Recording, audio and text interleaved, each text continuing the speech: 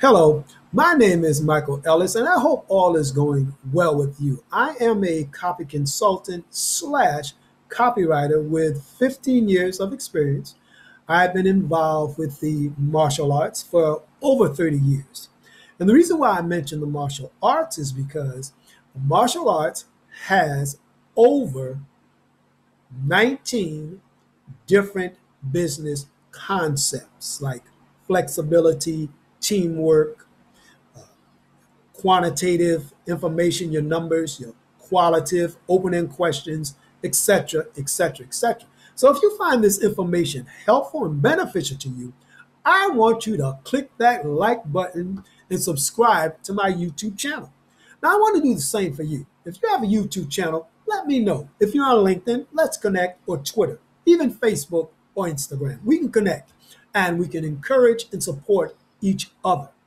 So that's a good thing. So we're going through this series called The Top 10 Content Marketing Goals. Again, that's the top 10 content marketing goals. And we've already done eight of them. Amazing. Got through eight so far. So, number nine is developing new business ideas. In order to be successful in any business, you have to have fresh and new ideas. What does that mean?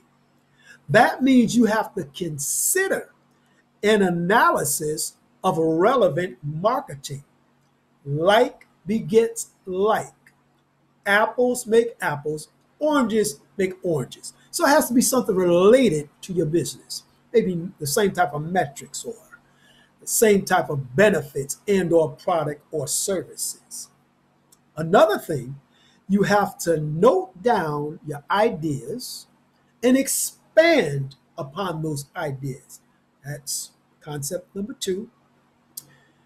Those ideas that are written down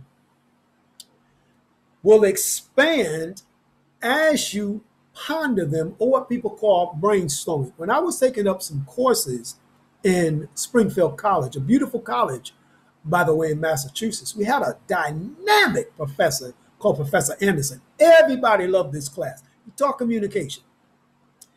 And he told us to take a piece of paper and have a pen or pen. And when words come to you, just write them down. Don't try to make any sense out of it, just write. And when the creativity stops flowing, stop writing. Take the piece of paper, turn it down, don't look at it for another 24 hours. In other words, let your brain and your mind rest. After 24 hours has passed, excuse me, take that piece of paper, look at those words, and expand upon each word. What was he doing? He was teaching us the salami technique, piece by piece, making notes of the words or ideas, letting your brain and eyes rest for 24 hours, then going back at it and expanding upon those words or those ideas. Try it. It works. Everyone in his class was shocked at finding their unique writing voice through that one dynamic technique. It was awesome. And I still use that today. So, another thing we can do, concept number three, in getting this goal done, is to use a competitive analysis. I wrote one on LinkedIn and posted up there. Many are familiar with it, some maybe not. What does that mean? It means to look at your competitors in that niche and see what they're doing and how they're doing it and how you can use their strategies to benefit your business and outweigh them and or the other competition. You notice basketball teams, football teams, and even many boxers, before they face a new competitor in the ring or on the court or on the field, they will look at films to study the strategies and techniques of their competitors. It's the same thing in business. I mentioned the martial arts, and there were times when my teacher would be showing me a strategy. I would have to sit back and watch and observe and take in what he was showing me before I tried to do anything concerning that strategy. It's the same concept. Then we have another thing that needs to be done, and that is creating a business model. There are three dynamic business models there's the soft system, the hard system, and your information system. Various agencies use different concepts, but a business model is a roadmap to success. It is a plan, a strategic plan to deal with the strengths, weaknesses, opportunities, and threats. S W O T. Now, a lot of people don't realize this when going through an interview. Most interviewers use the STAR system situation, task, action, results. You can use the same thing in creating a business model. What is the situation or what is your specific niche? Task. What task do you have to do? You list them out. What action you have to take or analytics you have to study. Or what are the results of that testing? And that brings me to another point to create marketing tests. You have to test your marketing metrics, A B split tests, closed tests, all kinds of tests, and it takes a while to see the results of what's hot, what's cold, your heat maps, and all of that good stuff. SEO optimization, uh, your target audience, how they react. You can use polls, you can use surveys, and that's the last part.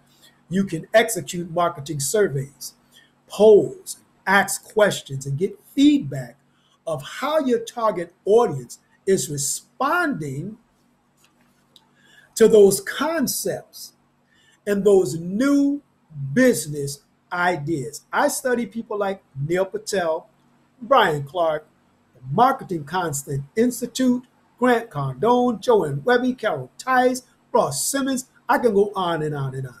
Also study people like Shaquille O'Neal, Floyd Money Mayweather, who has excellent business acumen. The young man's a billionaire and he's very wise, has other wise people around him. So, my point is in order to develop new ideas, you don't want to be, and I don't want to be, the smartest person in the room. Go to someone or a resource that has more knowledge and insight and a proven track record of addressing the urgent problems, guaranteeing a promise, showing undeniable proof, and offers and ends with a friendly proposition. That's another formula called the 4P. You can also use AIDA attention, interest, desire, which brings action. You can use EAT, EAT, expertise, authority, which builds trust. You can use SMART, specific, measurable, actionable, relative, and time bound. So there you have it. Number nine, developing new business ideas. Again, write an idea down, let your brain rest, go back at it, use your imagination, and also you can get feedback from a trusted family member or even a colleague. So take care for now. There you have it. You can reach me on LinkedIn, Twitter, Facebook. I have a page called Effective Psychology in Action where I'm sharing the failures and success of others. Again, I don't want to be the smartest person in the room, so I learn from other people. I'm also on Instagram, LinkedIn, and Twitter two of my favorite. I have over 10,000 connections on LinkedIn, over 10,000 followers on Twitter. I've been a ghostwriter for Henhouse Publications.